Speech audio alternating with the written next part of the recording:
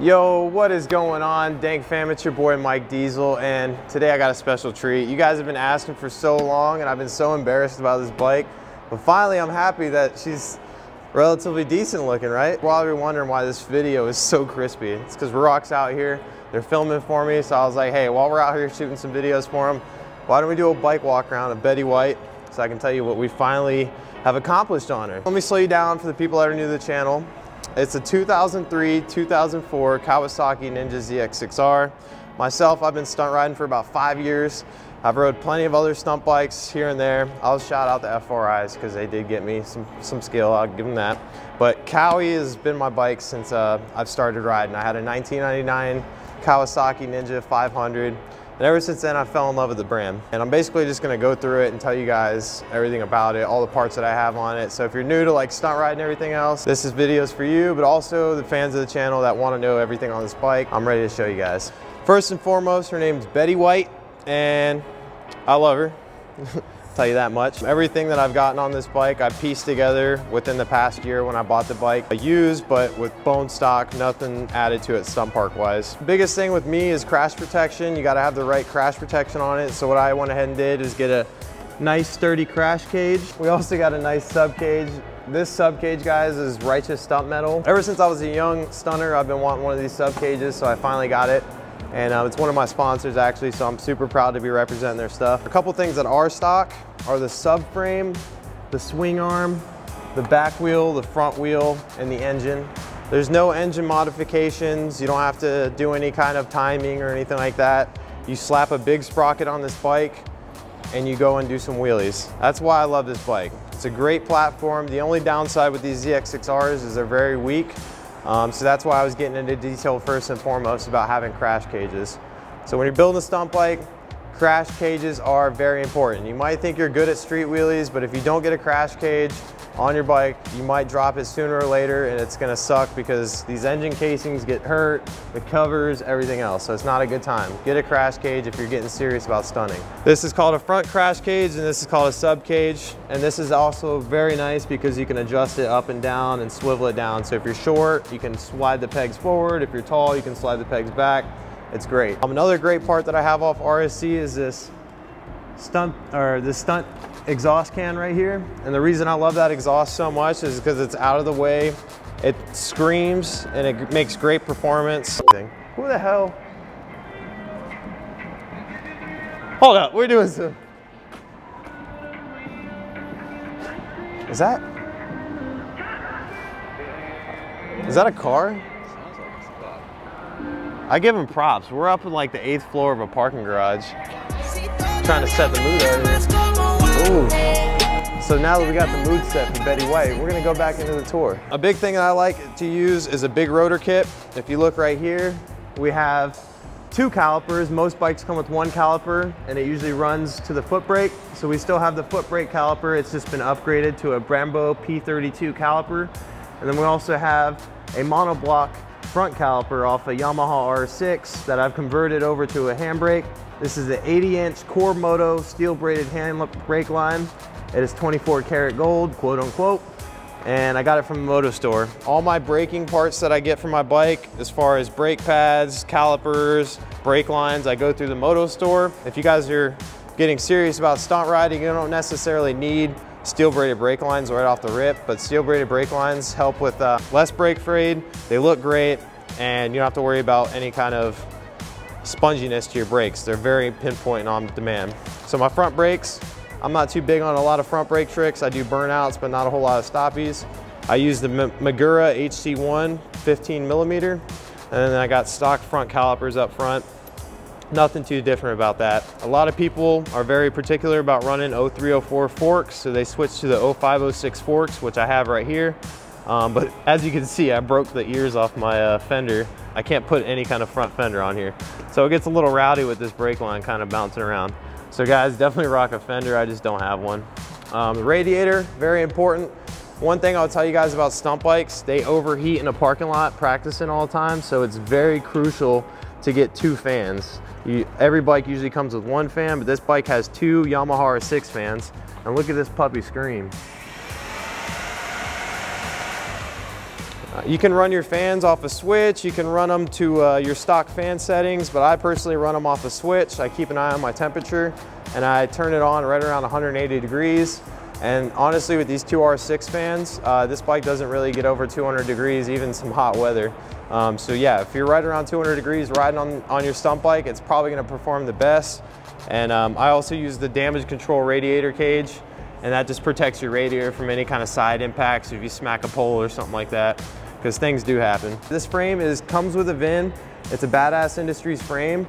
And the cool thing about it is once you go ahead and get it registered, it's practically like you're registering a brand new bike for the first time. So myself, I broke the stock frame on this bike that actually is legal and registered. So I kind of was stuck with a bike that has no legal frame for it. So I went ahead and contacted Badass Industries, got this beautiful frame powder coated by Mako Metal Finishing, and now I can go ahead and take it to the DMV and get it registered because I've been super busy and haven't had a chance to. Right here, you got your gauge cluster, nothing fancy about that, just original gauge cluster. It works, does its job. Very important to have so you can check the temp right there.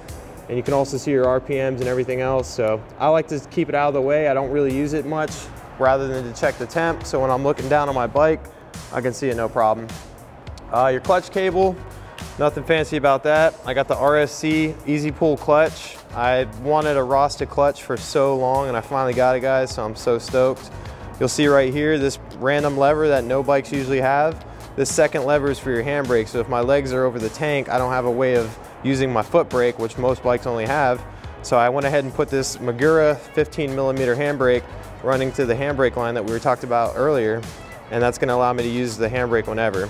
I'm not really proud of this um, with these wires holding the grips together, but it's doable, it gets the job done. But uh, usually you wanna use some kind of grip glue or something like that. Right here is my lucky $20 bill. It used to be just so I could go to gas stations um, on these random group rides in the middle of nowhere. And if I was in a crunch, I always had money in case I needed to get gas.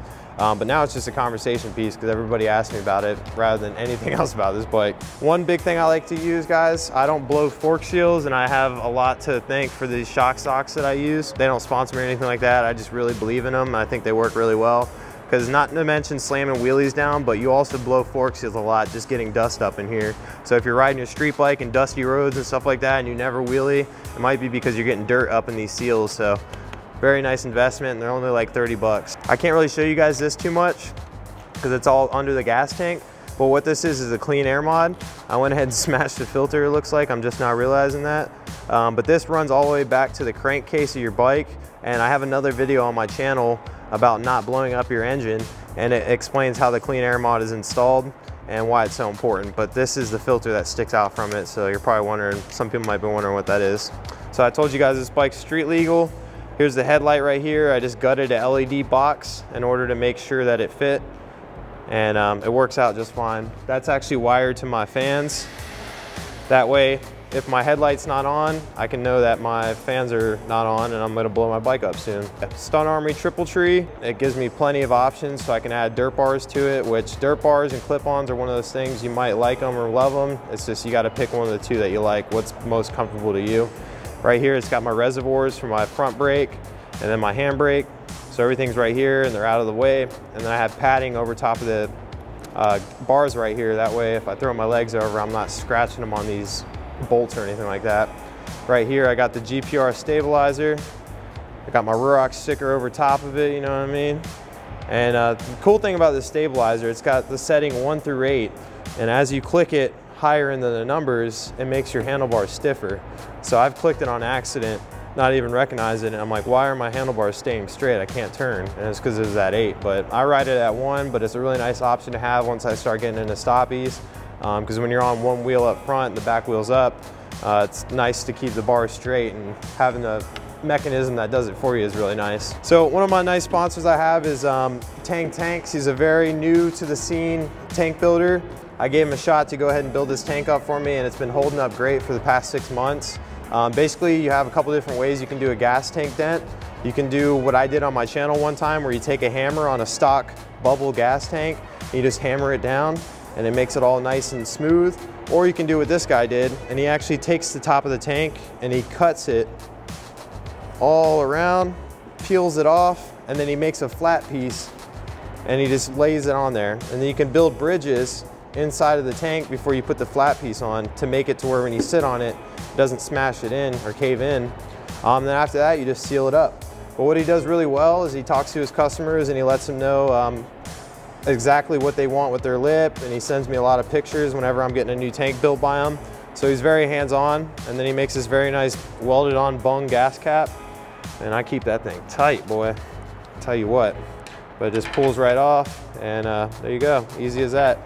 So I'll be getting all my tanks from this guy because the biggest thing with stunt parts and building a stunt bike, you might have all the money in the world, but the hardest part about building a stunt bike is getting all your stunt parts in a timely fashion. Um, so the main thing with him, um, with a lot of things, these badass steel frames and these gas tank builds, they're very custom things that people are taking the time to build by hand. So they take a long time, but this guy has really great turnaround time. I had really great experiences with Billy Badass, and um, I'm just really scared to get a tank built because I just can't deal with that downtime.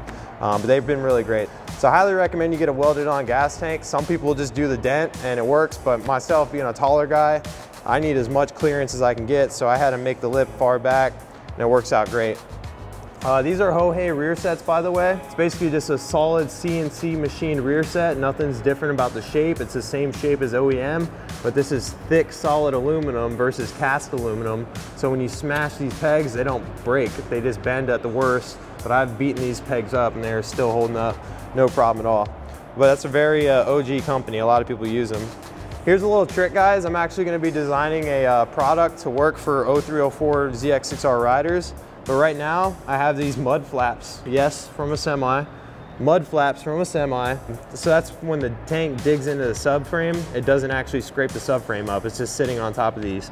So that makes my tank super sturdy too. Like literally, you go up to anybody's stunt bike and you wiggle their, their gas tank, it's gonna have some wiggle to it, but you cannot wiggle my gas tank. It's perfect. One, one thing that I've always wanted when I first started stunning was some HT Moto seats. Uh, Jason Britton's a really big inspiration. He rocks them on his bikes and they're just such a clean OEM original looking seat. Um, just, just very professional looking seats. This one's got some very nice stitching. This material is a little more texture and grippy so you can hold on a lot better. And then you have these ribs built in, um, which makes it so easy. I do no-handers and everything else, very, very simple. Um, right here, the back seat, this is the bread and butter essentials. When you have a hole cut out in it, this allows you to go ahead and put your foot in and do all kinds of different tricks. And then I have this platform right here. A lot of seats are nice and smushy, but this one is super thick. So when you're stepping on all the time, it doesn't deteriorate your seat material over time.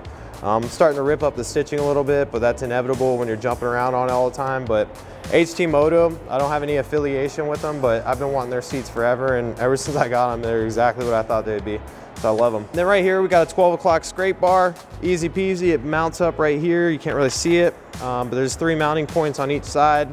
It bolts right to it, but usually you would scrape the bike right here. But since you have this 12 bar, it brings it back to here.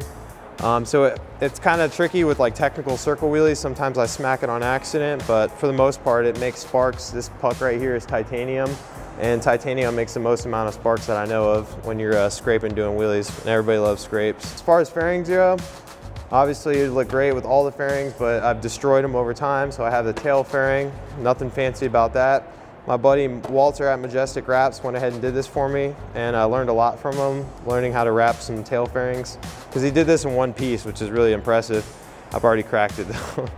Sorry, Walter. So yeah, we're almost done with the walk around. I just want to show you guys the gearing real quick because gearing and handlebars are probably the two most personal parts that you guys want to make sure that they fit your needs. You know, your buddy might be the best rider out there, but unless the bike is suited to your needs and your comfort, you're not really going to learn honestly until that bike's exactly how you'd want to ride it. So last but not least, the gearing right here. My favorite sprocket combination, 520 pitch chain with 120 links, a 62 thrust sprocket in the rear, and down one front sprocket. Um, that's my favorite combination. I can still get about 100 miles an hour on the street, and it's great in the parking lot. You can get technical, but the more higher in the sprockets that you go back here, the more pull the bike's gonna have at lower speeds, and it just makes everything a lot easier when you're stunting in the parking lot.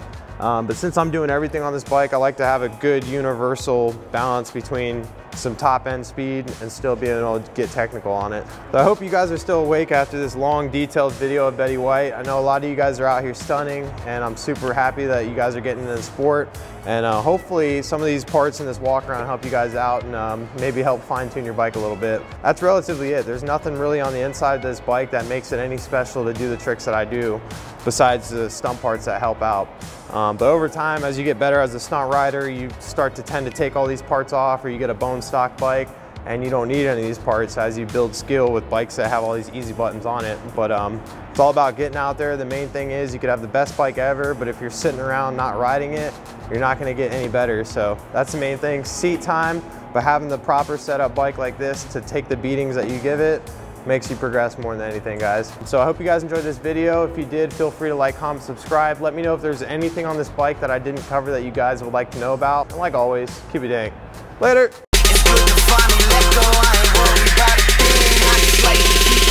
Yeah, I like to keep it mellow. I smoke and keep it mellow. I drink and keep it mellow. Every day I keep it mellow. Every day I keep it mellow. I smoke and keep it mellow.